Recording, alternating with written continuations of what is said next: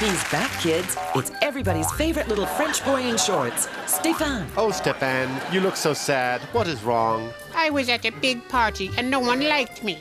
Oh, Stéphane, that is so sad. I told my stories, but they laughed at me and told me to go. Did you let everybody have a turn telling stories, Stéphane? No, I am the smartest French boy. Look at my shorts. It's rude to ignore other people at a party, Stéphane. But I tricked them. I didn't really go. I will stay at the party until they like me and my red balloon. Adieu, Stéphane. Don't let the door hit you on your derriere.